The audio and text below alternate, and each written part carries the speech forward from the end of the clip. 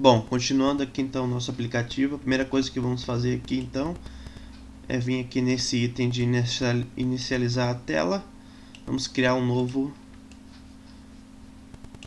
um novo item aqui no menu lateral, que eu vou chamar de criar. Vamos então aqui, quando clicado, então botar mais um C não C, copiar esse, esses três blocos, copiar esse aqui, e vamos trocar aqui então o sign in pela, pelo texto criar, e aqui abrir outra tela a tela criar. Vamos aqui então adicionar nova tela, colocar o nome de criar. Nessa tela aqui então vão ser criados os grupos de chat. Primeira coisa que eu vou utilizar aqui então vai ser esse autenticação Firebase. Após isso então eu vou colocar um, uma organização horizontal aqui colocar largura total. E aqui eu vou colocar a altura de 40 aqui dentro então o alinhamento vai ser centro. E o alinhamento vertical também vai ser centro. Eu vou colocar uma cor de fundo preta e aqui dentro eu vou colocar um item chamado switch então o texto off aqui eu vou colocar como grupo público. E o outro lado vai ser então grupo aqui no text on grupo privado. Então você vai escolher entre criar um grupo público ou criar um grupo privado. Você pode aqui aumentar aqui botar aqui em negrito. Abaixo disso, então, vamos ter dois layouts aqui.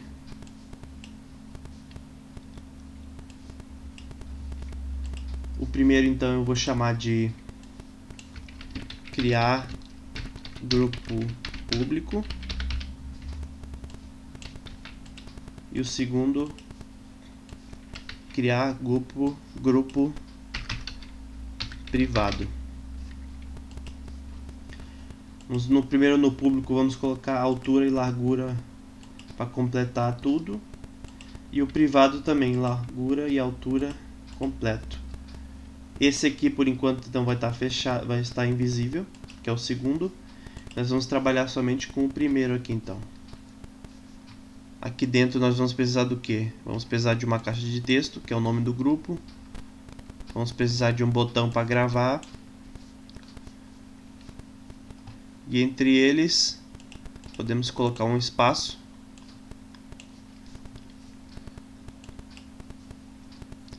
e aqui eu vou colocar uma legenda somente para descrever preencha o campo abaixo para criar um grupo.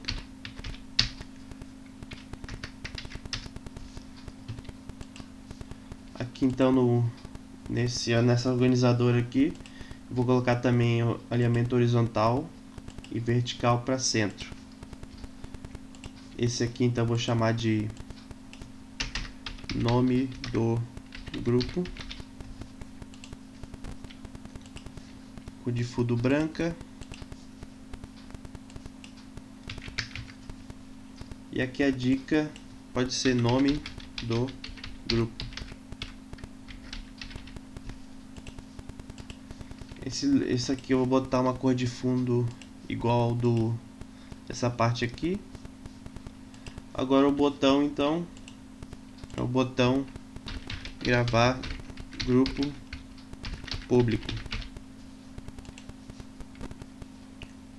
Vou colocar aqui 250. Criar novo grupo público.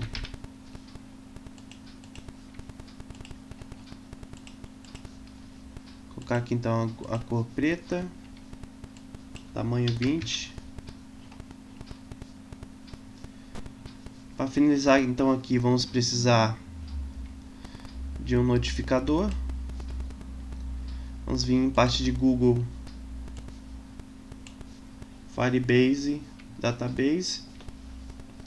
O bucket aqui então vai ser grupos públicos. Os itens aqui então é essa URL aqui. Vamos vir aqui no database, copiar aqui. E a chave eu já tenho salvo aqui, é essa aqui. Vamos deletar essa que vem aqui. E colocar aqui, sempre verificando se tem um espaço aqui no começo ou no fim.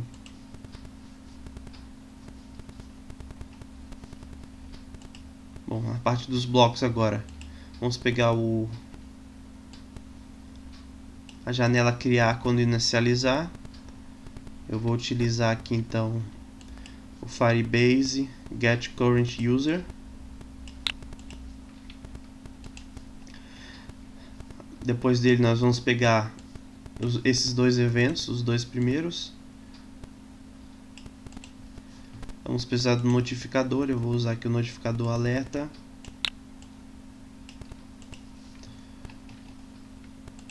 Aqui vamos precisar de um texto. E o alerta eu vou colocar é realizar ou login ou cadastrar no aplicativo. Se der essa condição, então, eu vou utilizar a partida de controle fechar tela. Agora, se der OK aqui, então eu vou dizer Olá. Aqui eu vou utilizar em parte de texto esse item aqui de juntar. vou colocar mais um item aqui no fim. Então aqui vai ser olá mais um espaço. Eu vou pegar o nome então.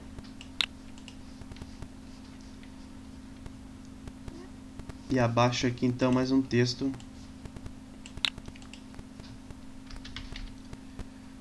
Crie um novo grupo.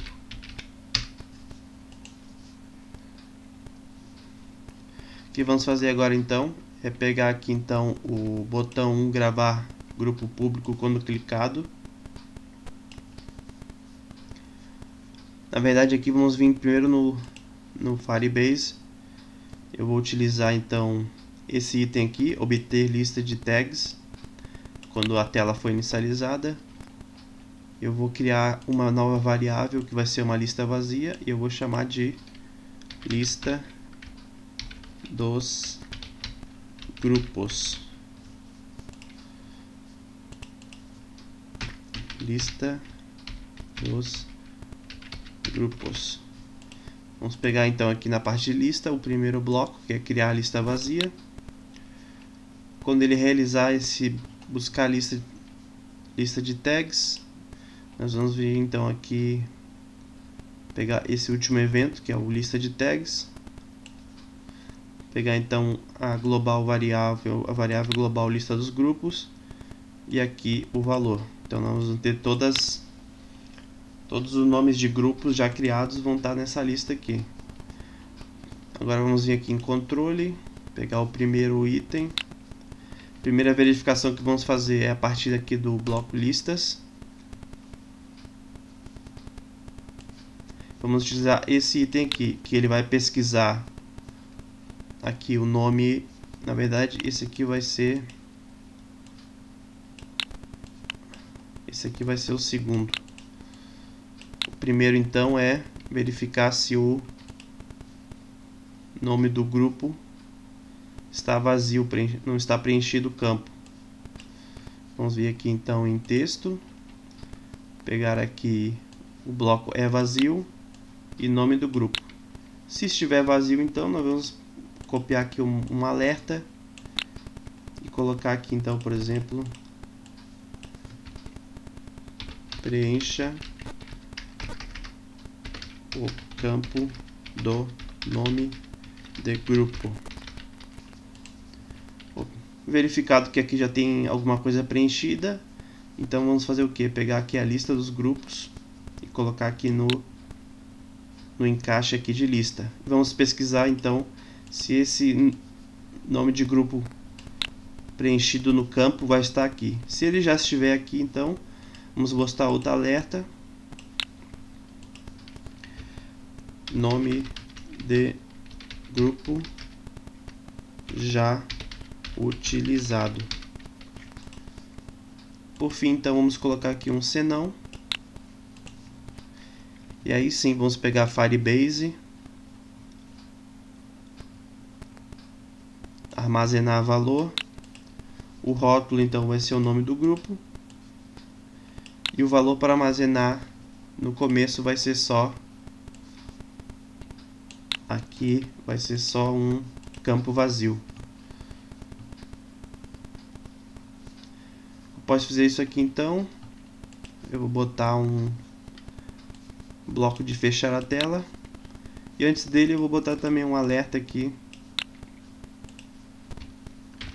Grupo criado com sucesso.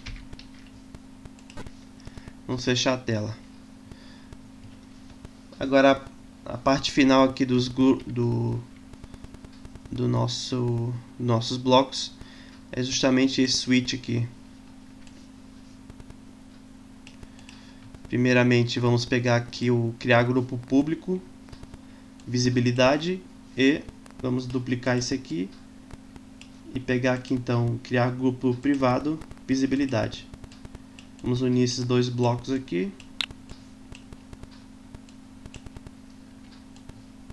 Vamos pegar o, o evento aqui, inicializar a tela e vamos colocar esses dois itens que vai acontecer aqui? Vamos vir em lógica, vamos pegar um verdadeiro e um falso. Quando você vai entrar na tela, você quer que apareça somente esse lado aqui que é o grupo público. Então vamos pegar o organizador horizontal, grupo público visível verdadeiro. E o privado, vai ter que clicar aqui, isso quer dizer que quando iniciar a tela, ele vai estar falso, ou seja, vai estar invisível.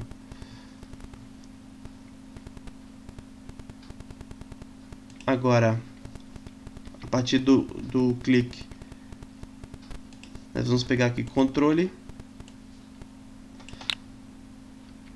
C. Então, se o switch está checado, ou seja, se ele vier aqui para a direita, nós vamos pegar novamente esses dois blocos aqui, vamos duplicar. Vamos voltar aqui, colocar no C. Quando ele está clicado, então, o grupo público, organizador do grupo público vai estar em falso, invisível, e o criação de grupo privado ter a verdadeira, ou seja, o organizador vai estar visível. E o se não, se ele tiver não checado, copia novamente. E nesse caso aqui vamos alterar. Visível público, invisível o grupo privado.